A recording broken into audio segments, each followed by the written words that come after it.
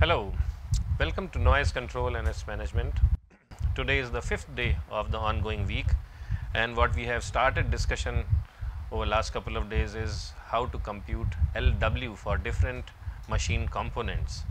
And just yesterday we started discussing how to compute LW for fan and in that context what I had mentioned is that such computations require a very organized and step by step way of approaching the problem and specifically in context of fan what I had mentioned is that the first step is to identify what type of fan we have. The second step is to figure out how does noise which is generated inside the fan gets out. So, we have to find the pathways through which uh, noise comes out the third thing is then we have to figure out that what is the proportion of noise which can come out from these different pathways. So, once again I will draw the picture of a fan or actually a blower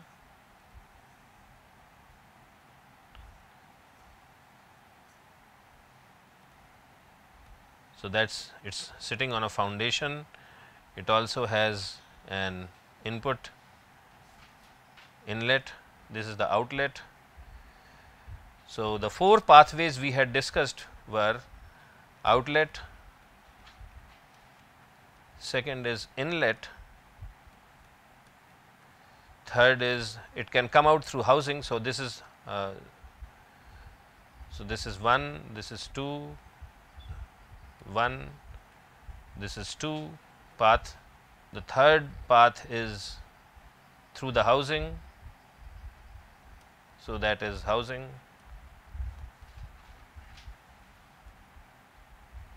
And the fourth possible path is through the supports or foundation.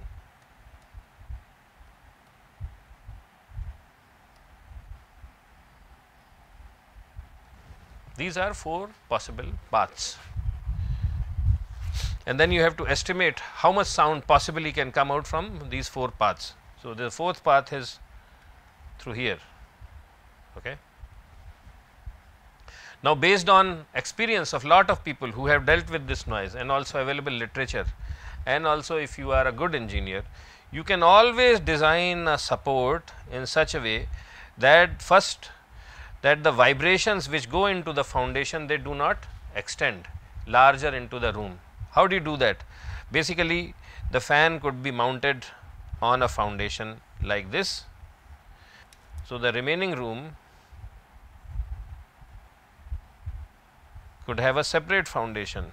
So, it is physically not connected to. So, this is the foundation of the whole room and this is a separate foundation for the fan.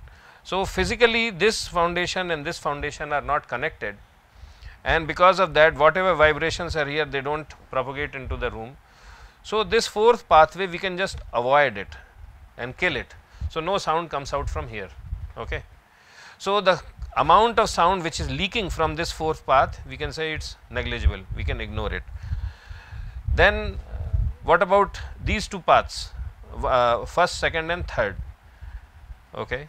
Now, imagine imagine that the outlet is open and the inlet is open and of course, the body is also vibrating and what you would expect is that roughly half of the sound will come out because the amount of sound which leaks through the body it will not be that large compared to amount of sound which comes through the outlet. So, roughly half of the sound will come from path 1, half of the sound from part 2 and there will be some sound which will come out through the housing vibrations and a lot of people have done studies and experiments and this is indeed what they have found out that LW for outlet. So, suppose it is generating sound uh, inside and the sound power level inside is LW in. Hmm. So, LW which comes out through outlet is roughly LW in and I said half. So, half means how much dB less? 3 dB less. So, minus 3. The same argument holds for uh, inlet also. So, LW inlet is LW in minus 3 dB. And then the question is how much sound comes through the housing and the answer is it depends how strong how stiff the housing is. Suppose the housing is very flimsy and it can vibrate very easily then it will be a large source of vibration. Okay. So, it depends on the stiffness of the housing. So, LW housing is equal to LW in minus a number known as transmission loss. So, the housing when I fabricate or the supplier whenever the supplier who sells the fan he will actually specify what kind of decibel loss will be there because of the housing.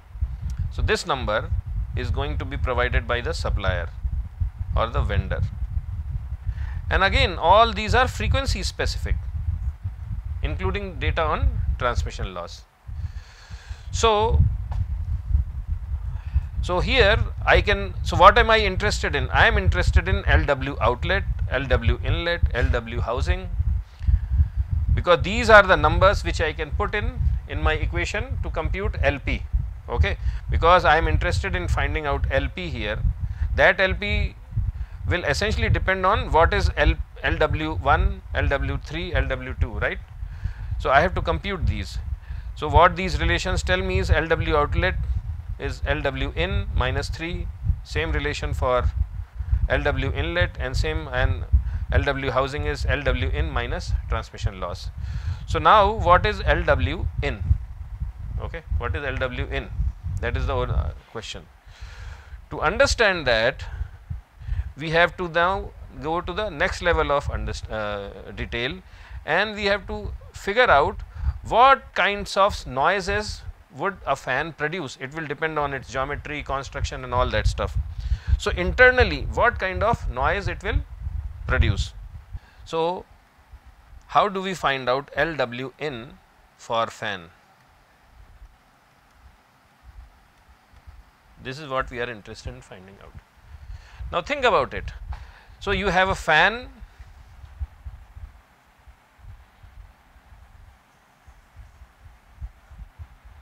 or actually it is a blower.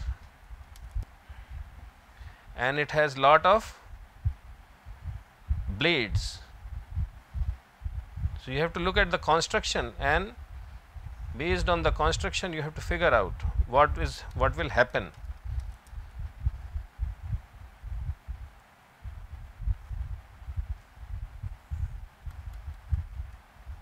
And of course, there is air coming in and air is going out from here. As the blade blades rotate, what do they do? When let us say this, this blade, this green blade, it comes to the outlet side, what does it do? Or forget this one. Consider this blade as fan is rotating what does it do? As it comes in front of the outlet it pushes air outside okay? So this blade will push air outside and then it will keep on rotating and when its one whole revolution is complete it will again push it outside. So each blade will push the air outside based on how what is its? Rpm or RPS revolutions per second. So, if there is so if this uh, fan is rotating at some so many revolutions per second each blade will generate so let us say this number is n then each blade will generate n puffs of air each blade will push air n times every second and if there are lots of blades then total number of puffs which will go out will be what? It will be n times n. Okay. So, this is how air is coming out. Now, it uh, now as air is coming out, it is coming out in small puffs and the number of puffs each second is small n times capital N. And because of this, the sound also comes out in puffs. Okay. So, one type of noise which will come out from this will be having a frequency of this thing n times n. So, first noise component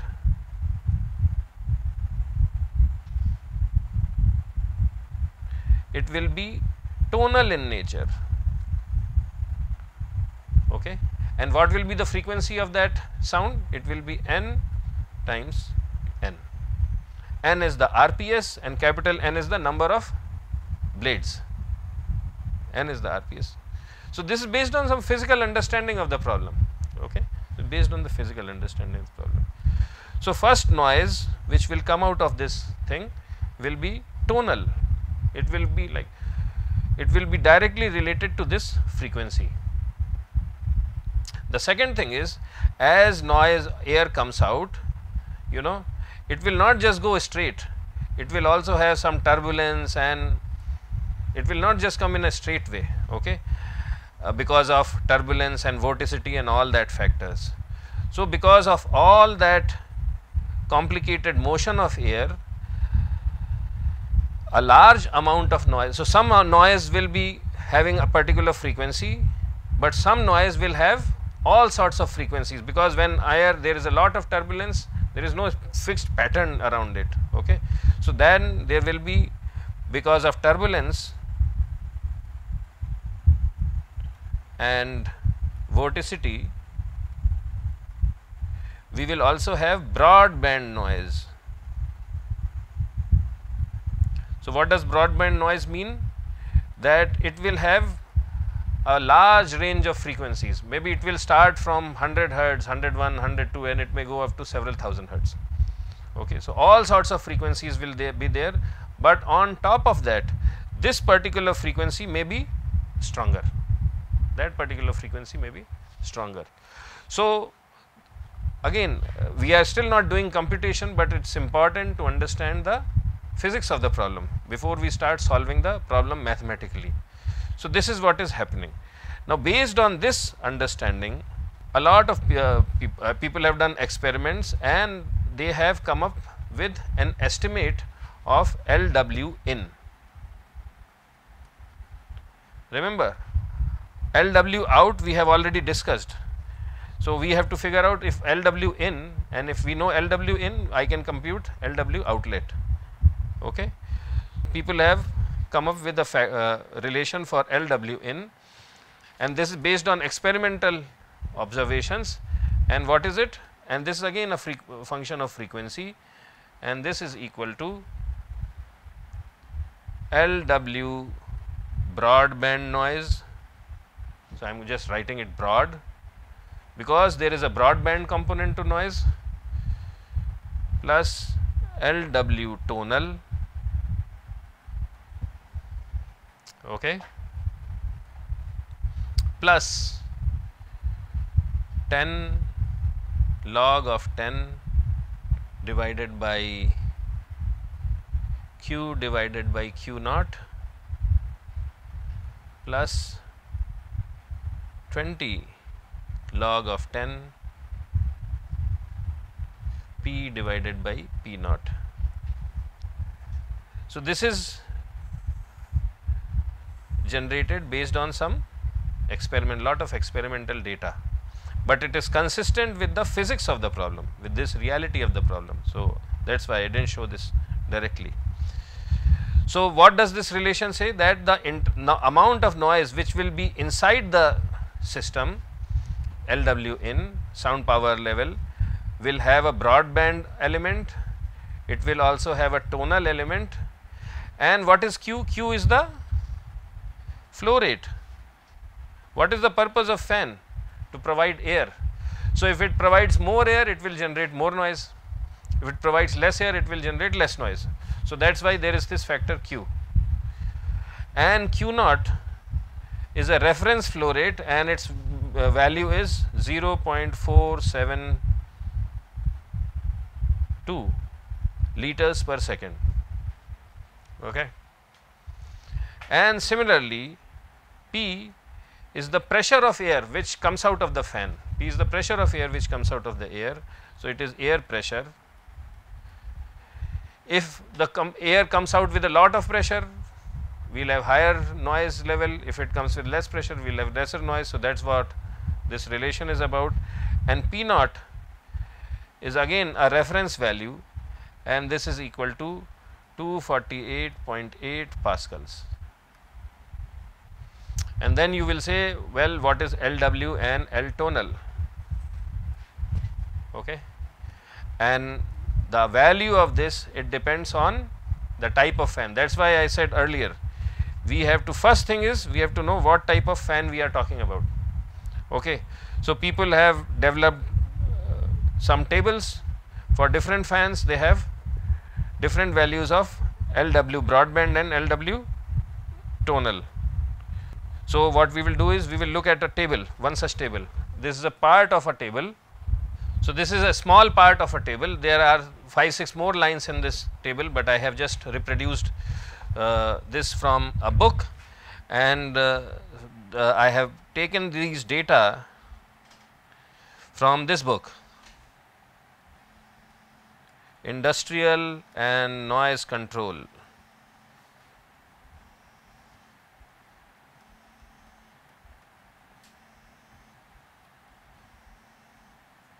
actually industrial noise control and uh, the author is Barron B A R R O N. The book which I looked at was published in 2003 and this is from page 167. Okay. So, this book has a bigger table, but I just have captured lines for 5 6 different uh, 5 different types of fans so, if it is a centrifugal fan with FCB blades, forward curved blades, then LWBT, BT is tonal. Okay. So, I called it. So, this is LW tonal. The value of the LW tonal is 2, 2 decibels. And what is the value of broadband LW? It is at, so these are frequencies okay. So, these are frequencies. So, in 63 hertz band these are central frequencies 63 hertz band LW broadband is 40 decibels in 125 hertz it is 38 decibels 38 and so forth. Similarly, for different fans LW tonal is given in this table and also for different frequency bands the value of broadband frequency is also broadband noise uh, power level is also provided.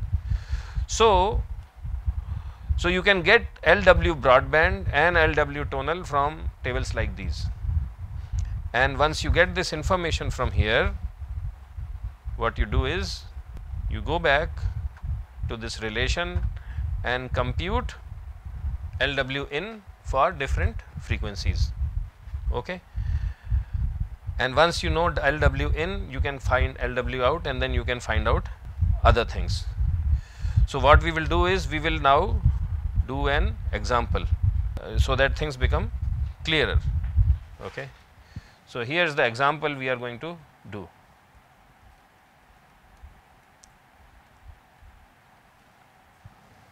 So, what does the what is the question that suppose we have a forward curved blade type of centrifugal fan.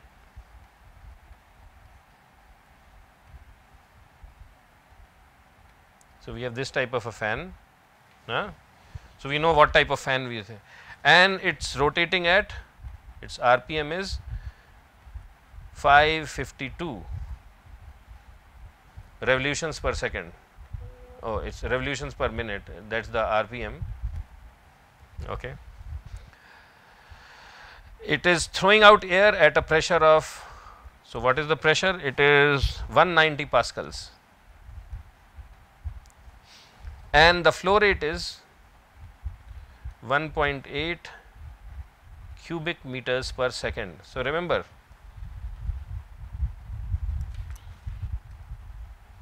here it is units is liters per second.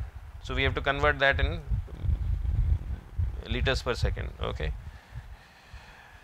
And the what else? And then the thing is that inlet and outlet are only through pipes. So, what does that mean? That you have the fan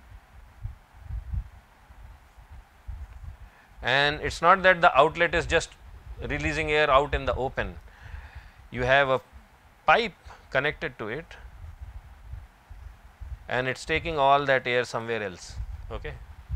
Similarly, the inlet is also connected to a pipe. So, I am in the room, I will not have noise come from the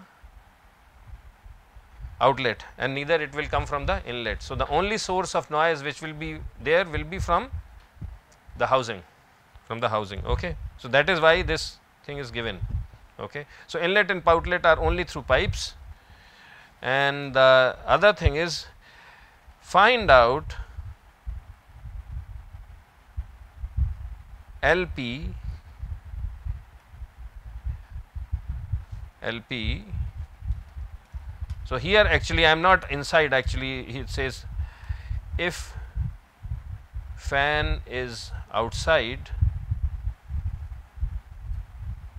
and location is 3 meters away. So, you are 3 meter away from the fan outside in the room uh, outside in the open the noise is uh, the outlet is going through some other pipe. So, you are not exposed to outlet noise same thing as in inlet noise. So, you have to find out LP okay this is the question. What else? Some more data is given. The fan has 64 blades.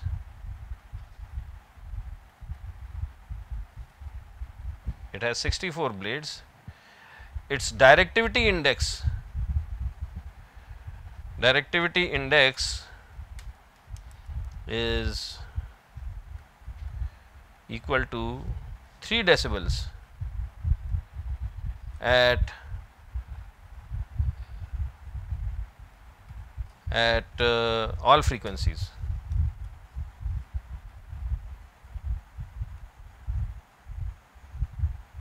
At all frequencies, it's three uh, this thing, uh, and the transmission loss. So we have to compute how much sound is coming from the housing. So transmission loss for housing is given in a table.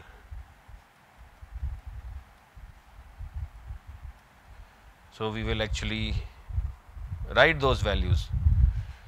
So, transmission loss. So, what are the so these are frequencies and this is transmission loss in decibels.